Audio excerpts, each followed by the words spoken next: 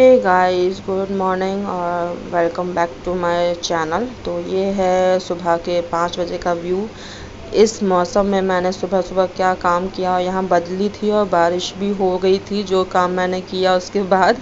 अब आप मौसम देख सकते हो कितने घने घने काले काले बादल हैं तो वही मैं आपको दिखा रही हूँ। तो ये व्लॉग मेरा मॉर्निंग टू इवनिंग तक रहेगा, और दो दिन का ब्लॉग आपके साथ शेयर कर रही हूँ। तो ये देखो मॉर्निंग का टाइम है, और बर्ड्स जा रही हैं।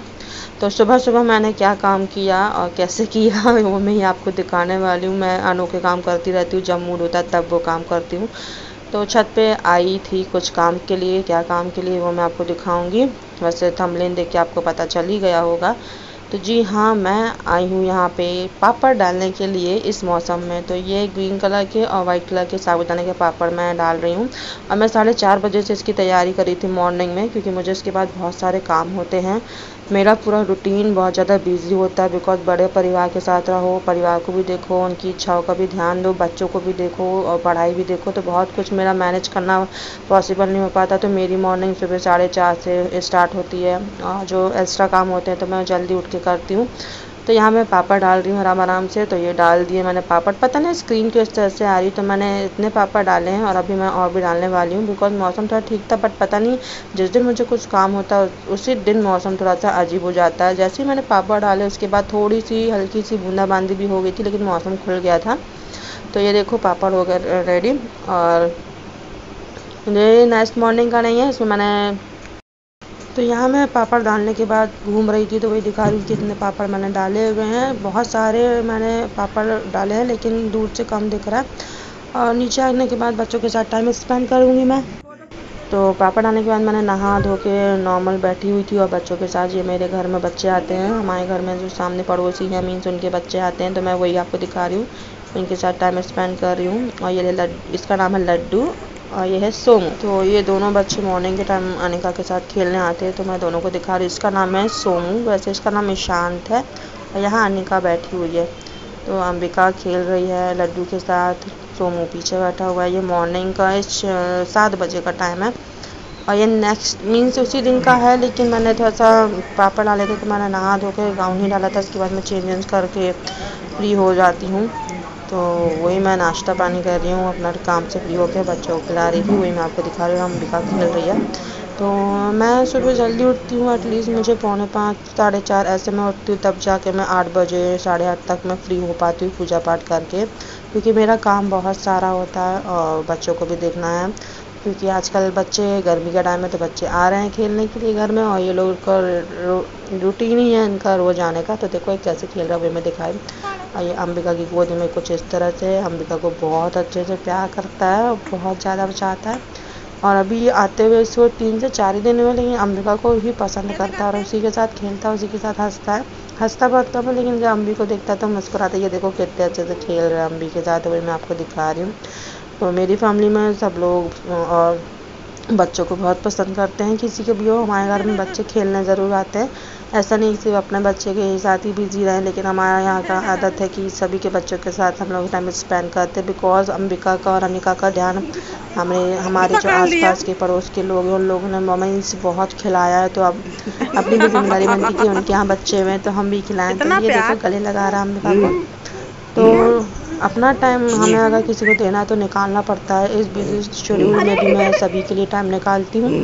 हाँ जो मेरी टाइम की परवाह करते हैं उनके लिए तो मैं ज़रूर निकालती हूँ।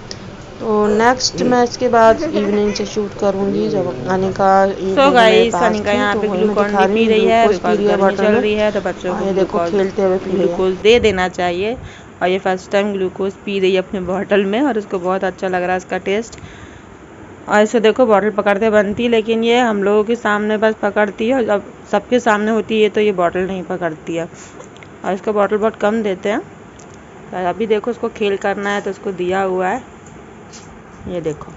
क्या पी रहे बच्चा? क्या पी रहे अपने हाथ से? दीदी ने दिया? दीदी ने दिया? आहा। ऐसे नहीं ऐसे नहीं ऐसे नहीं लग जाएगा। दैन इवनिंग में लड्डू फिर से खेलने आ गया था अनिका के साथ। तो ये देखो मैं दिखा रही हूँ आपको मैं पकड़ के खड़ी हूँ और उसको चलना है। अनिका इससे बड़ी है, लेकिन वो बड़ा दिखता है नौ महीने का है। अनिका बड़ी है तो अनिका चल लेती है। लड्डू की हेल्थ ज़्यादा है तो वो बड़ा दिखता है, लेकिन वो नाइन मंथ का बस है अभी। तो उसको देख के, उसको भी चलने की इच्छा हो रही थी तो वही अंबिका शूट कर रही है, मेरे साथ खड़ा होकर वो पैर चला रहा था, अभी चल नहीं पाता है। वही मैं आपको दिखा रही हूँ। तो ये बहुत ही प्यारा बच्चा है। आ, ये देखो अब खिलौने के साथ भी खेलना है। मीन सब कुछ करना होता है बच्चों को एक दूसरे को देख कर तो टाइम बहुत अच्छे से स्पेंड हो जाता है इवनिंग का भी मेरा। और इसके बाद मैं रात के काम में लग जाती हूँ तो वो सब तो मैं शेयर नहीं करूँगी।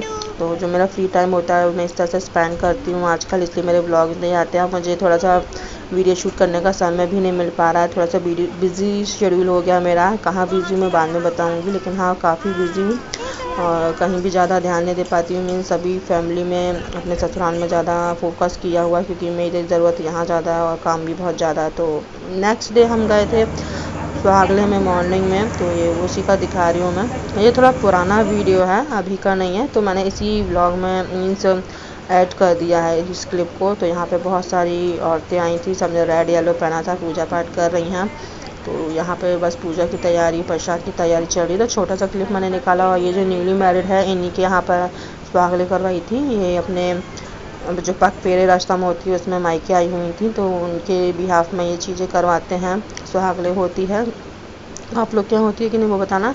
देन यहाँ जाने के बाद मैं कुटरू के साथ थोड़ा सा स्पेंड करी थी टाइम ये देखो, ये कहाँ बैठी हुई है, वही मैं आपको दिखा रही हूँ। तो ये कांच की प्लेट के ऊपर बैठ गई थी गुस्से में कि, और यहाँ से हट ही नहीं रही थी क्योंकि इसको भूख लगी थी इसको ककड़ी चाहिए थी तो बस यहाँ बैठ के मस्ती कर रही थी। और ये देखो, यहाँ बिज़ी है, उसको कोई मतलब ही नहीं है कि वीडियो बन रहा है, क्या बन रहा है। ये बहुत गुस्सा दिखाती है, मैं कहीं भी चली जाती हूँ तो सुहागले से जब मैं आई तो मैंने इसको देखा तो इसकी नौटंकी ये चल रही थी। देन शाम को छत पे गए, थोड़ा बहुत खेला सबके साथ और ये बग्स जा रही हैं। तो वही मैं आपको दिखा रही हूँ। आई होप ये ब्लॉग आपको पसंद आया होगा। चैनल में नए तो चैनल को सब्सक्राइब कर लेना। अभी थोड़ा बिज़ी चल रही हूँ, इसलिए डेली ब्लॉगिंग वगैरह वीडियो वगैरह आपके साथ प्रॉपर नहीं शेयर कर पा रही हूँ। शॉर्ट वीडियो बस शेयर कर रही हूँ।